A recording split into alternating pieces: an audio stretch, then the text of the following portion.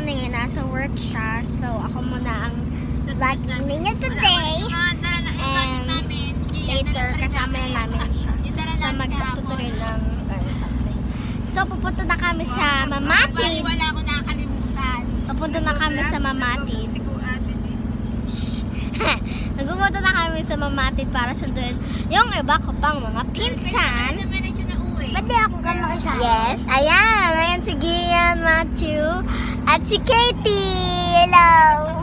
Hi. At ang mga tita ko, si Tita She. At si, ah, si Tita Lee.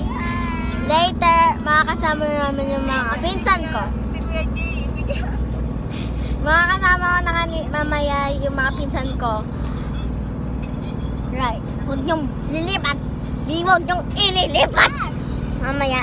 And, so, yeah. Yeah. Just wait. Just wait. Thank you. I don't, I'm not thinking. Wow! Yeah! Wow! Look at it. So, ang ganda. So, mamaya pakita ko kung nasa na kami. They're here na. They're here na. Yay. Oh, yalita na kayo dito. Sa loob. Emo! Anda! Ay, hindi dyan, hindi dyan, hindi dyan, doon. Doon, doon. Yan. Ang angit ng amoy. Huwag ka nga magsalita. So, yeah. Ayan sila.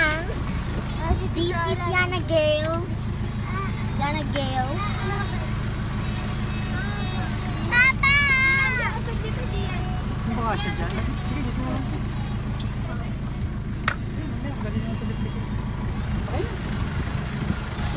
that? What?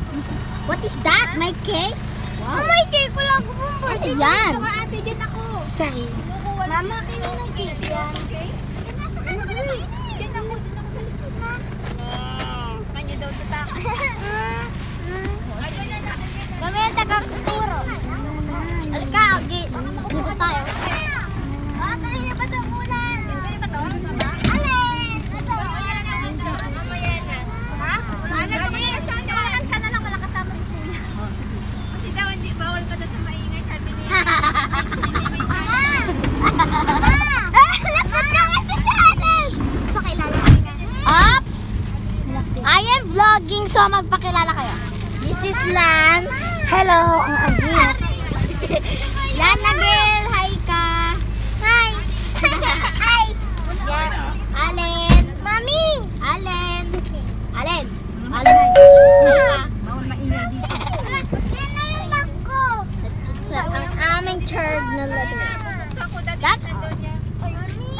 So, pupunta na tayo sa next destination is to go on Ambo. Ambo City Park. They'll see you in down.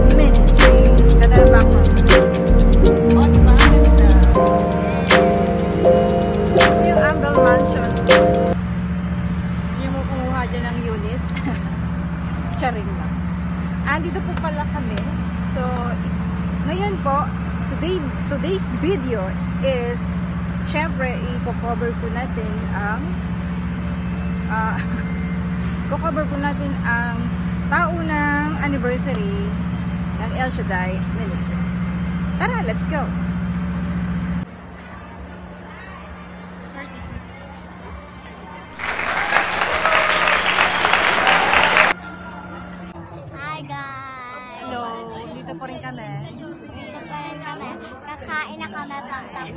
Kakatapos lang ng misa.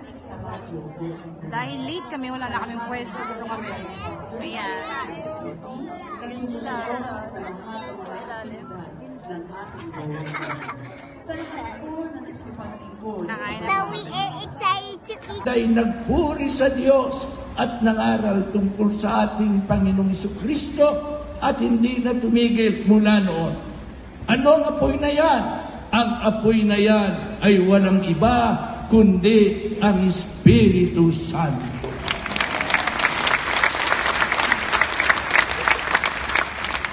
Yan po ang gustong ipansunog ng ating Panginoon.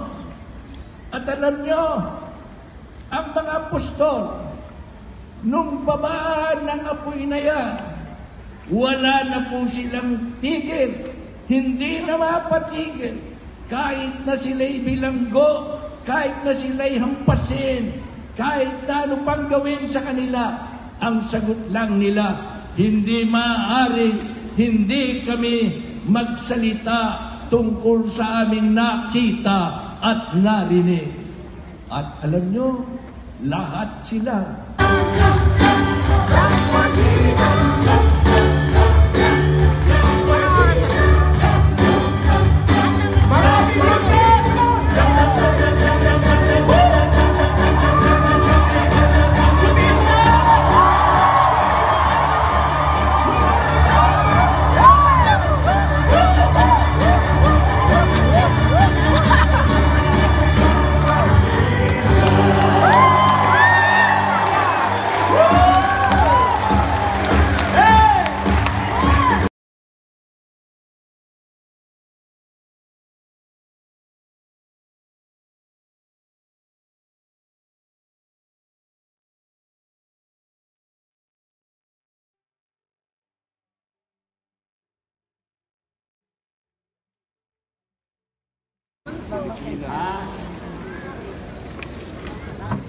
B stands for blessing.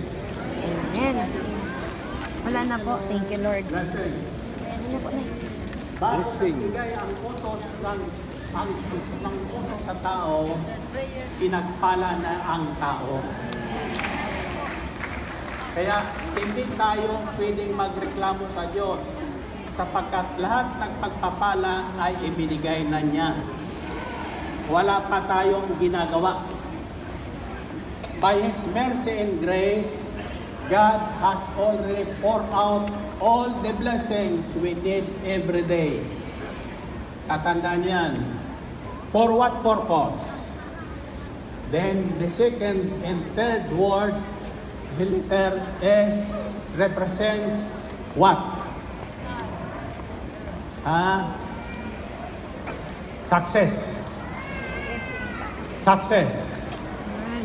Hindi tayo nilalang ng Diyos para mabigo, para maghirap, para ma-depress, para magkasakit at mamatay.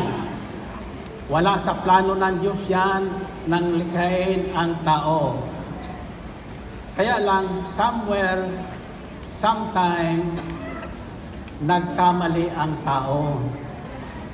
At iyan ang minana natin sa, utang, sa unang taong nilalang ng Diyos, ang pagkakamali. Sino sa inyo ang hindi nagkakamali? Sino ang nagkakamali? Nagkakamali tayo sapagkat hindi natin alam ang prioridad ng buhay ng tao.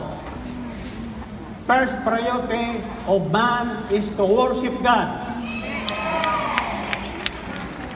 To praise God. Iyan ang unang pangunahing tungkulin ng tao. Sa mga Elsaday, kayong napupunta sa ibang bansa, pag kayo na uuwi sa ating bansa, ang pangunuhang tangkalin nyo ay umatin ng gawain ito. Hindi ang magbigay ng pagkain sa mga nagugutom. Unahin ang Diyos at pakakanin ng Diyos ang mga nagugutom sa pamagitan ng inyong panalangin. Faith first before action. Katandaan nyo ang nasusulat. Bibigay ko sa inyo ang maraming bagay sa mekling talatang yon. At ito po ay tinanong ko rin kay Bishop Bacani at Bishop Mercado. At ang sagot nila sa akin, makikinig na lang kami.